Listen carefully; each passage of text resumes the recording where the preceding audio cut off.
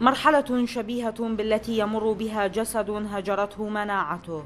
هكذا توصف البلاد حين تعلن نتائج الانتخابات مع تأخر تشكيل البرلمان أو الحكومة الجديدة.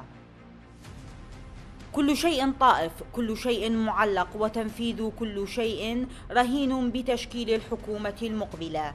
إعلان النتائج من قبل المفوضية يواجه بالرفض من قبل البعض وإعادة العد والفرز لمرة واحدة لم ينل رضا المعارضين والرافضين لأداء المفوضية. ما دفعهم لرفع دعوى تشكو أخطاء كثيرة أدت لنتائج انتخابات لا ترضيهم. المحكمة الاتحادية أجلت جلسة الدعوة تلك حتى فبراير من عام 2022 وحتى ذلك الحين سيكون تشكيل الحكومة هو الآخر مؤجل بحسب خبراء قانون.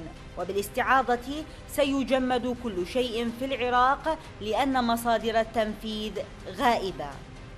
البرلمان وحده يمكن أن ينسج بحلته الجديدة بعد أن تصدق المحكمة الاتحادية على أسماء الأعضاء الفائزين. ومع انتظار نتائج دعوى الرافضين لإجراءات المفوضية قد تتغير خارطة مقاعد البرلمان وقد تحافظ على شكلها الحالي.